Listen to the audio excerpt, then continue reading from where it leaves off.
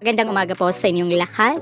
Narito po ang bagong balita na kung saan ang mga kandidata na sasali sa Miss Universe Philippines 2024 na kung saan ang mga kandidatang ito ay nagmumukbang ng mikropono. At narito atin sila kilalanin. Kaya patuloy po natin suportahan kanino man sa kanila mapupunta ang corona ng Miss Universe Philippines 2024 dahil kayang-kaya nilang makipagbardagulan kahit kanino man.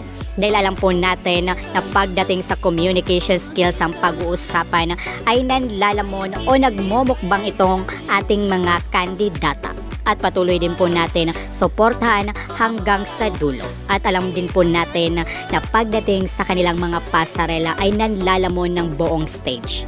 Kaya patuloy po din tayong nakatutok sa channel na ito para sa iba pang informasyon.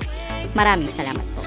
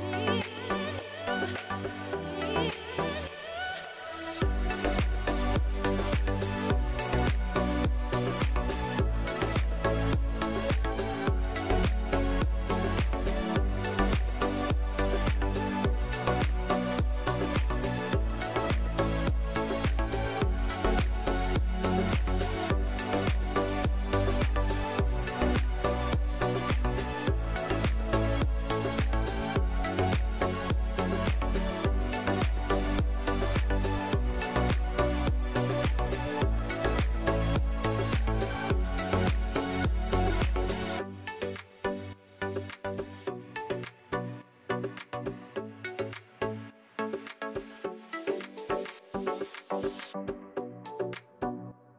you.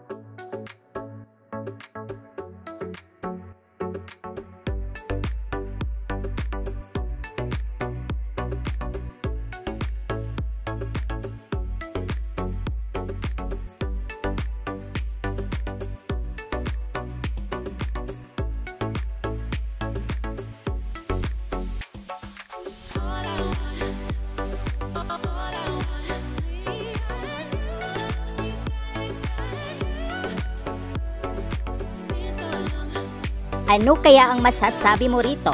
I-comment mo dyan sa comment box at huwag kalimutang mag-subscribe para always updated.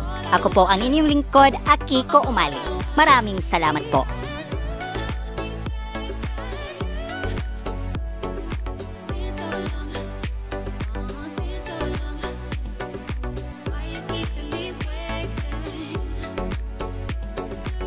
Kung bago ka lang sa aking channel, huwag kalimutang mag-subscribe and click the bell para always updated sa bagong kaganapan.